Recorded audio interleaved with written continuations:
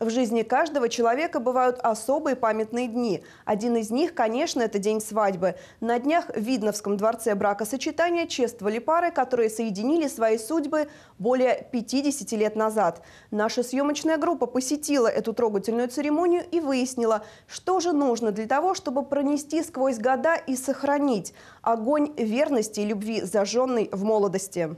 В преддверии Дня защитника Отечества во Дворце бракосочетания Ленинского района чествовали юбиляров золотой и бриллиантовой свадеб.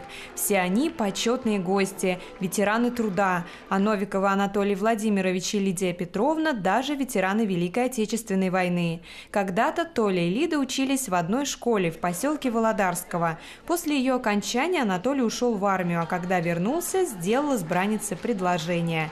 Так, 60 лет назад родилась их семья. Оделись там, пошли в сельский совет, расписались. У родители уже здесь подготовили нам праздник. Его мама нам подарила 500 рублей.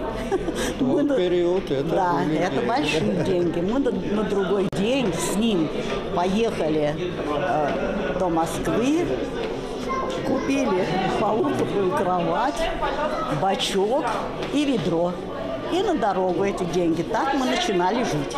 Владимир и Любовь Павловы познакомились на новогодней вечеринке, а через год поженились. И вот живут вместе уже более 50 лет. У них двое детей и четверо внуков. В праздничный день Любовь Ивановна и Владимир Гаврилович переступили порог ЗАГСа с особыми чувствами. Эмоции хорошие. Нас это вдохновляет, что нас отмечают. Да, мы радуемся. Мы радуемся уже исполнилось 51 год. На церемонии чествования юбиляров присутствовал глава Ленинского района Сергей Кошман. Он поздравил семейные пары и вручил им награды – знак губернатора Московской области во благо семьи и общества.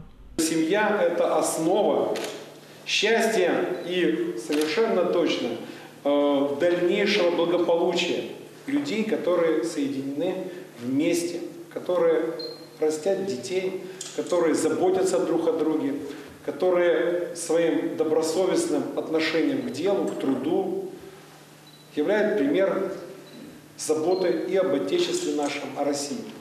Несмотря на то, что супруги вместе уже много лет, в их глазах огонь. Они гордятся и дорожат друг другом. Такой жизненный семейный опыт вызывает искреннее уважение и служит образцом для подражания. А что же нужно для того, чтобы сохранить крепкую и дружную семью?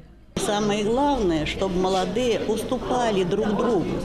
А то ведь начинают, сразу рассорились, я тебя не знаю, ты меня не знаешь. В жизни всякое бывает, но надо научиться, научиться, чтобы так, уступать друг другу. Любовь – это не только чувство, но долг, ответственность, терпение, взаимопомощь. Вот тогда все будет нормально. Праздничной обстановке звучали многочисленные поздравления в адрес юбиляров. Им дарили цветы и подарки. А участницы студии эстрадного вокала порадовали гостей исполнением задорной кадрили. Для каждого эта церемония особенная и навсегда останется в сердце частичкой света и тепла. Лариса Вольнова, Александр Ильин, Наталья Буслаева. Видное ТВ.